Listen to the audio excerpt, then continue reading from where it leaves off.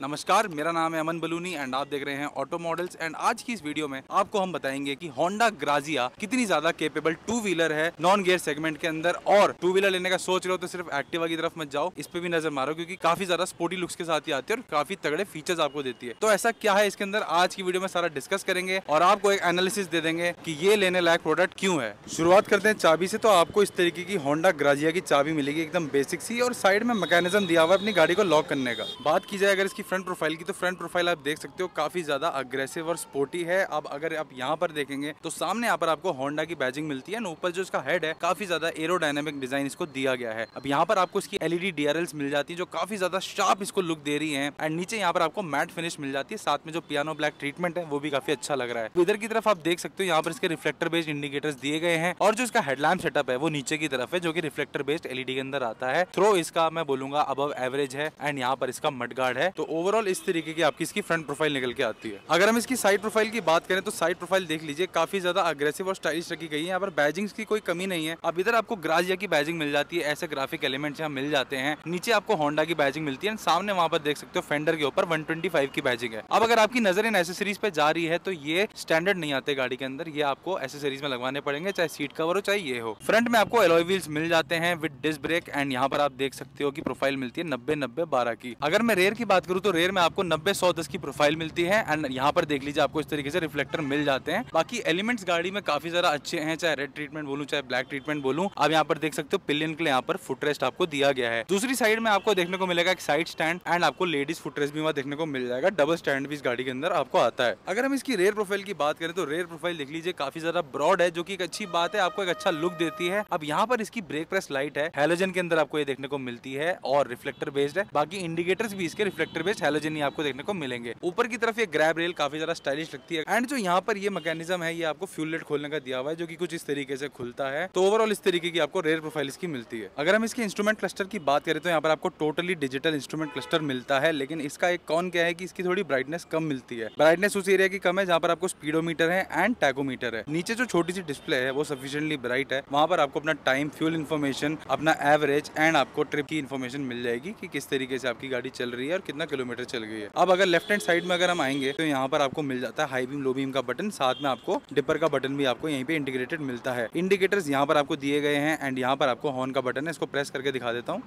Horn की quality एकदम average है। उस तरफ़ को आप देख सकते हो, यहाँ पर आपको इसका आइडल स्टॉप स्टार्ट बटन मिल जाता है, जो की एक अच्छा फीचर है फ्यूल सेविंग के लिए। एंड नीचे की तरफ़ आपको इसका सेल्फ बटन मिल जाता है। और अगर नीचे आप आएँगे तो यहाँ पर एक कॉम्प्लेक्स सिस्टम है, जो आजकल हर टू व्हीलर में आ रहा है। वो है आपकी गाड़ी लॉक अनलॉक करने का फ़ंक्शन एंड साथ में जो सीट को खोलना है फ्यूल लिट को खोलना है उसका फ़ंक्शन आपको वहाँ दिया गया है। अच्छी बात इस गाड़ी में एक और है कि यहाँ पर देख लीजिए आपको एक स्पेस मिल जाती है, जहाँ पर आप अपना सामान रख सकते हो, अपना फ़ोन रख सकते हो वॉलेट रख सकते हो, काफ़ी ज़्यादा डीप स्पेस आपको ये मिल जाती है। तो वो एक अच्छी बात है, सामान टांगने के लिए आपको जो है यहाँ पर आपको सुविधा दी गई है। तो आपको उसमें बूट स्पेस क्या मिलने वाला और इंजन किस तरीके का मिलना है, चलिए उसकी बात करते हैं। तो सबसे पहला बूट स्पेस देख सकते हो यहाँ पर। एकदम जो इतने सालों से चला रहा है एक्टिवा का जितना बूट स्पेस होता है, आपको उतना ही यहाँ पर मिलेगा नथिंग सो स्पेशल बट जो चीज़ मिलेगी यहाँ, एक सौ पच्चीस सीसी का होंडा का इंजन मिलेगा, जिसके अंदर पावर फिगर मिलेगी 8.25 पीएस की power and 10.3 newton metre of torque equivalent to Activa 125 तो कोई दिक्कत की बात नहीं है। साथ ही साथ आपको एक और चीज़ मैं बता दूँ कि इसमें आपको कंफर्ट कन्वीनियंस किस तरीके का मिलने वाला है। अब देखिए, मेरी हाइट सिक्स फीट है। सिक्स फीट का बंदा ऐसे यहाँ पर आराम से बैठ रहा है, जिसमें पीछे पिलियन के लिए अच्छी खासी जगह बची हुई है। लेग रूम अच्छा मिल रहा है राइडिंग स्टांस अच्छा है, कोई दिक्कत उसमें नहीं है। पिलियन के लिए यहाँ पर बहुत अच्छी जगह है। सीट्स भी काफ़ी ज़्यादा वाइड है तो उसमें भी आपको कोई दिक्कत होने वाली नहीं है। तो क्या होंडा ग्राजिया को खरीदना समझदारी होगी या बेवकूफ़ी? अब देखिए, यहाँ पर सवाल आ जाता है कि इसकी प्राइस कितनी है? इसकी प्राइस रखी गई है eighty eight thousand five hundred rupees ex showroom and colour option भी काफ़ी ज़्यादा आपको उसमें देखने को मिलेंगे।